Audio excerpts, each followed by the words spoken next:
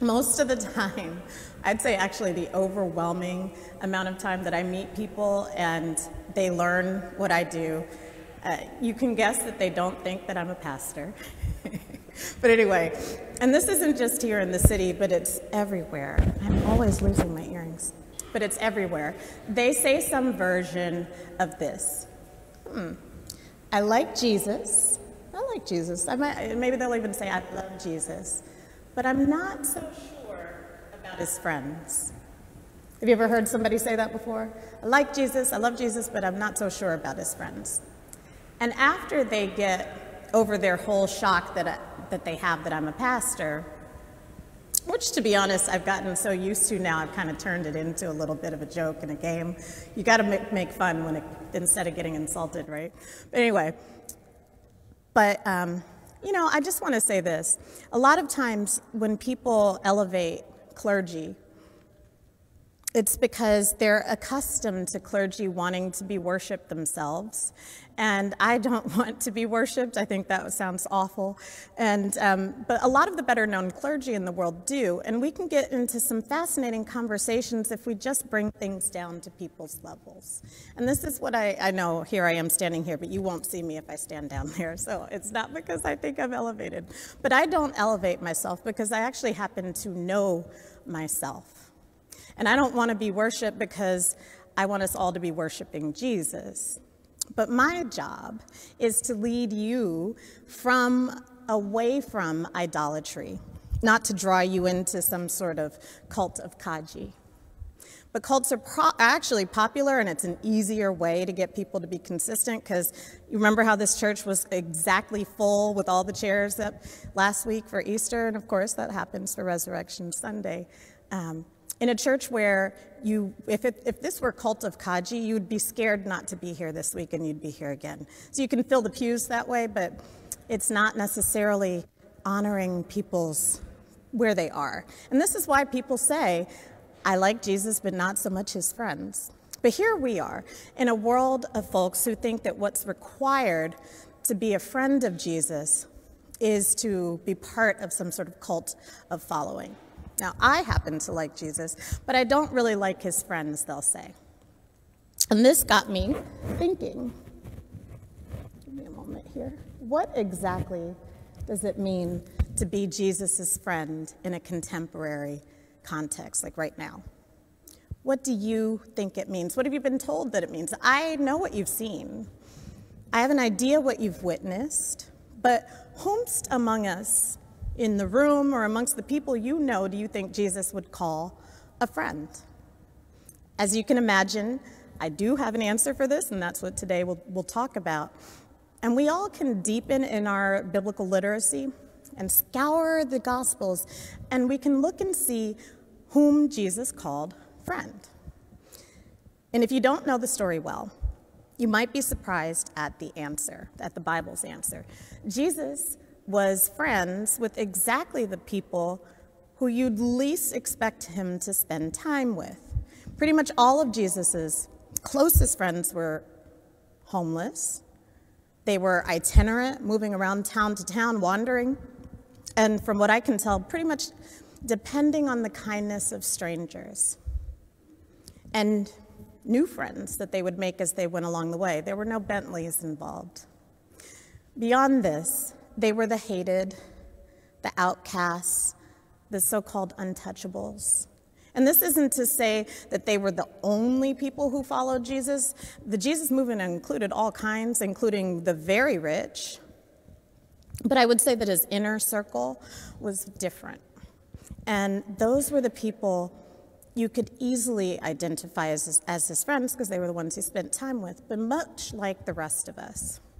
The Gospels Uh, demonstrate that Jesus had different circles of friends. When it came down to it, what I really want you to understand is that Jesus was an excellent judge of character and saw right through to the heart of a person. That was true then, and I would say it's still true now, and that's actually good news. Deep in your heart, Jesus knows all the good that God has implanted there which is why I am confident that he would call you friend. Absolutely, yes, you. Yes, you. Yes, you. Yes, all of you. And if you doubt this, especially you, hmm, so doubt. That's a, that's a difficult one. In my pastoral care, so many of you can tell me your deepest and darkest secrets. Pretty much, you know, we can have that conversation one on one, and that works, right? You can do it even with a straight face. But the point, and this is just, I've just started to realize this, but the point at which most people begin to really lose it is when they start to tell me about their doubts. And the reason for that is that there's this shame that accompanies their doubts. And they tend to go hand in hand, doubt and shame, especially for people who want to be Jesus' friends. So maybe this will help. Know this you do not need to earn Jesus' friendship, He gives it freely. In fact, it's so precious and valuable that you couldn't ever put a price on it. Even if you could earn it, nobody could because it's that valuable. But Jesus' grace runs free. And as I started mentioning last week, these things that bother us, God's not bothered.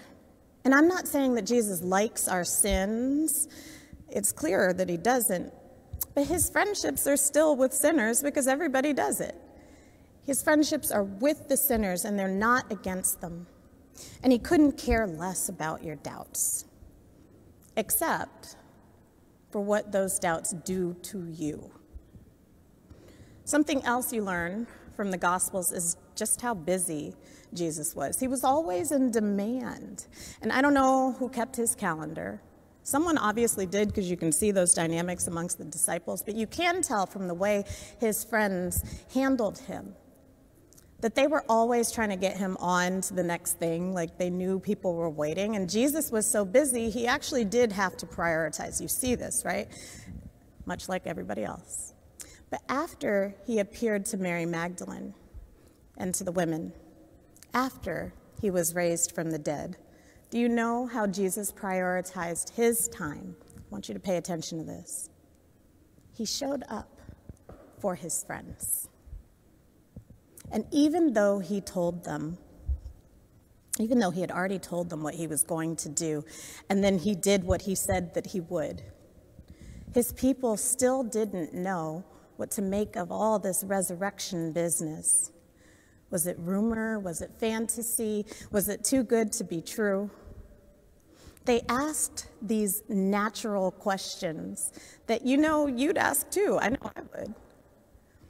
The whole line of thinking amongst Jesus' friends is epitomized in the story of Thomas.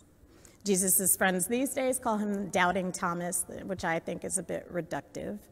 But for the pur- purposes of today, I do want you to understand that Thomas really did doubt.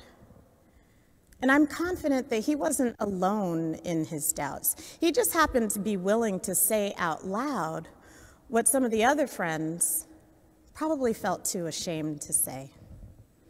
So Jesus shows up to where his friends were hiding. The door was locked. He comes through it anyway, right?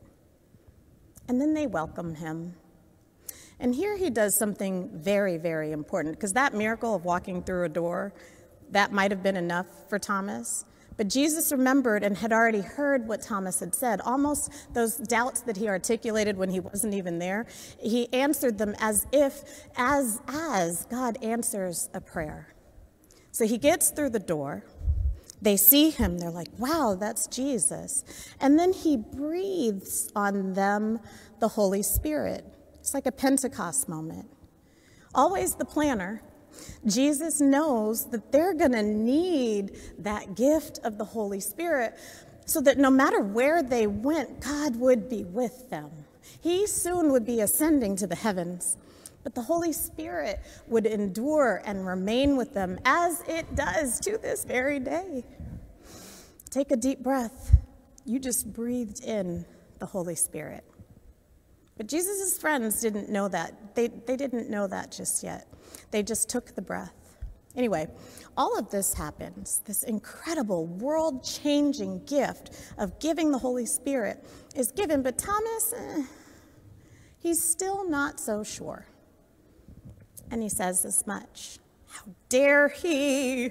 How could he? If he had enough faith, he would just follow the rest of them, right? Like a cult he'd fall on his knees and he'd worship and he'd give thanks and praise and all the holy things, right? So he questions Jesus and he articulates his doubt, and then Jesus turns on him and breathes fire down his throat and banishes him from his presence, right? No. That's what you think would happen. And if you happen to feel any guilt for your doubts, then that's especially, what you would expect from God. That's not how it goes, though. Even if you don't think that consciously, that's what one would expect from the story, from the way that I hear your doubts and your shame from it from you. But if you think this way, if you feel shame for your doubts, I need you to understand something. It's just not right, it's not biblical, it doesn't comport with what the Gospels teach us. There need be no shame when Thomas expressed his doubt and showed the pain that informed that doubt, remember he's grieving, Jesus didn't breathe fire on him. He gave him no smoke. Instead, do you know what he did? He met him.